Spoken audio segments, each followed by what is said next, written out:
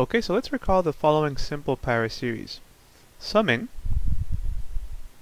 from 0 to infinity, quite simply x to the n. If you expand the terms, you will get 1 plus x plus x squared plus x cubed and so forth.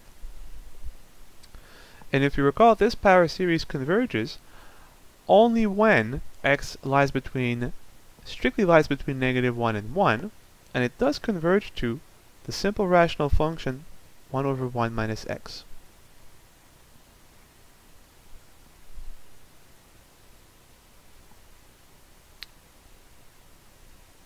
So now, as you can see, we have here a power series which is equal to a simple rational function on the open interval from negative 1 to 1.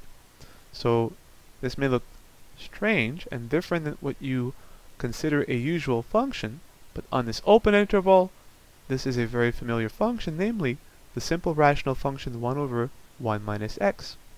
So we now want to ask a question.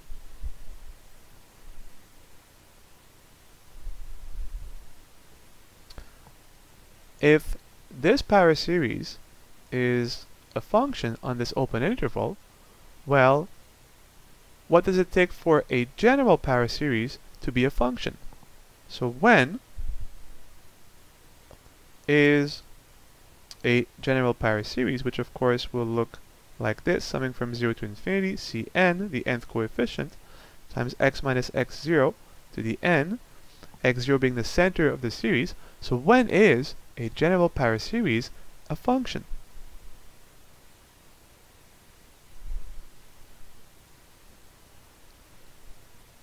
Well, we already have our answer. There's two ways to look at this. You see, this power series converges for values of x strictly between negative 1 and 1.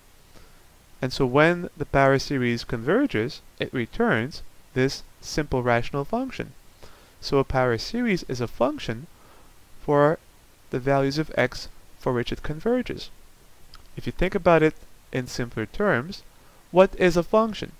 If you think of it as a function of x, well, a function takes a value of x and returns a real number. So suppose we pick a value of x for which the series converges, which means that if we sum these terms from 0 to infinity, if the series converges by assumption, the result will be some real number. This is exactly what a function does, right? It takes a value x and it returns some other real number.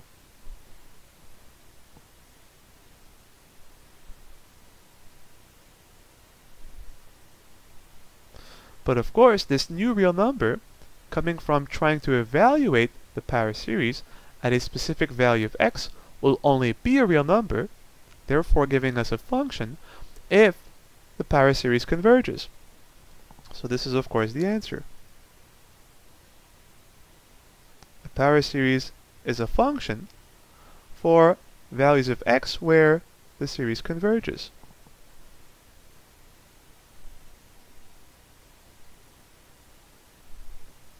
So a general power series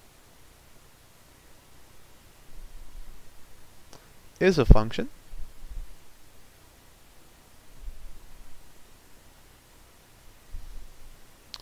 for values of x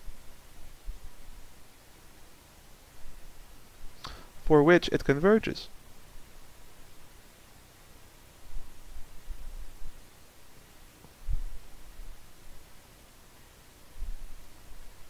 So asking when is a general power series of function is simply asking to find the values of x for which the series converges. And so the question is, how are we going to determine whether a power series converges or diverges. For which x values will the series converge, therefore giving us a function, and for which values of x will the power series diverge, therefore giving us nothing. So which test are we going to use to determine the convergence or divergence of a power series? Well, if you think about this, regardless of what the coefficients of the power series may be, there will always be a term of the form x minus x0 to the n. So this term raised to the nth power, and because of this, if you recall cases when one should or could use the ratio and or root test, this is exactly one of these cases. If you have a term raised to the nth power, a good idea to figure out convergence or divergence is to use the ratio or the root test. And so for almost all power series, when trying to figure out for which values of x the power series converges, we will use the ratio or the root test, and in doing so, of course, this will be a n, the entire sequence of terms we are summing over.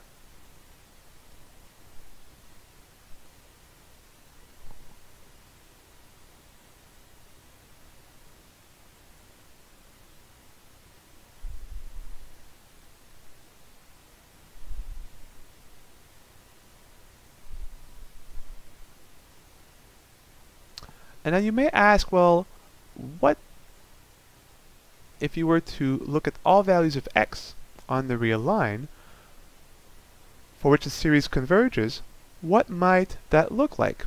And the great thing is, it will almost always look like the same thing. So imagine you have a power series, and I ask you to find all values of x for which the series converges, then you will either, because of the term x minus x0 to the n, you'll either use the ratio or the root test, and you'll almost always have the following situation. What you will find out if you look at this onto the real line, the power series will always converge when x equals its center. And I'll let you think about this. So you will always have convergence at the center of the series, and then as you move away from the center of the series, to the right and to the left, you're going to have convergence for a while, but at some critical point, convergence will stop. And how far you can go, also a nice thing, will be perfectly symmetric. You'll be able to go as far to the right as to the left, and still have convergence. We'll call this distance r, Suppose we can go up to x0 plus r, and to the left, of course, x0 minus r.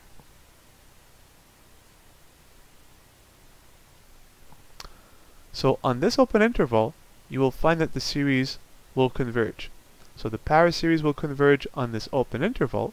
Therefore, on this open interval, the series converges, therefore will return a function because for every value of x that you choose inside this interval, if you plug it into the series, it will converge, therefore return some real number, therefore giving you a function on the open interval. Now, we call r the radius of convergence.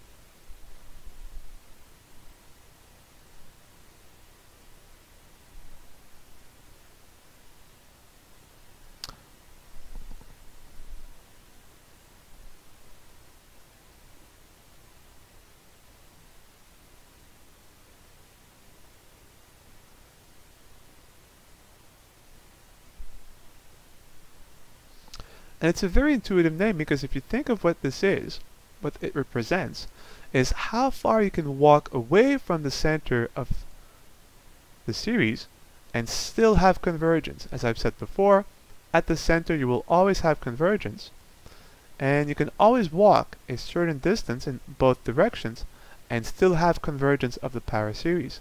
So how far you can walk away from the center of the series and still have convergence is the radius of convergence. As I've said, on the open interval, you will have convergence.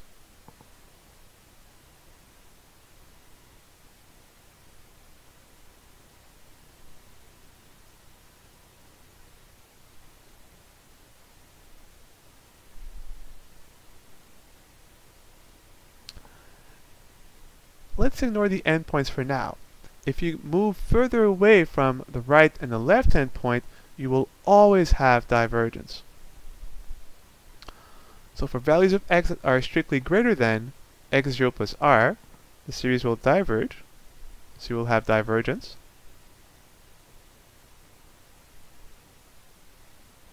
And the same goes to the left.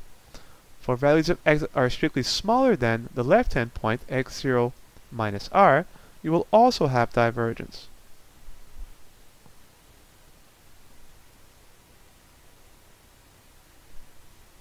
The only thing that sometimes is a bit more tricky are the endpoints.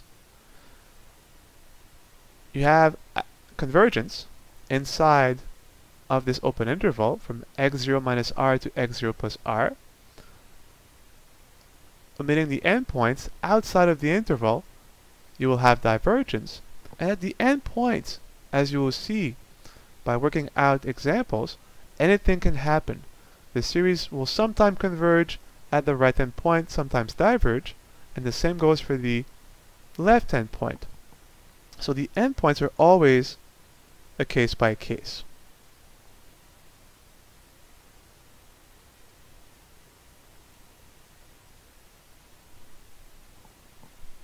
And the same goes, of course, for the left-hand point.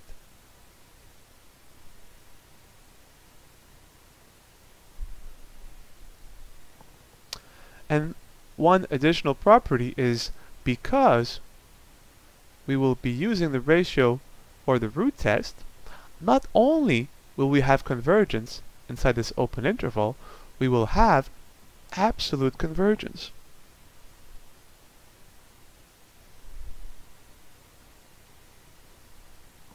So an even stronger form of convergence because of the ratio or the root test.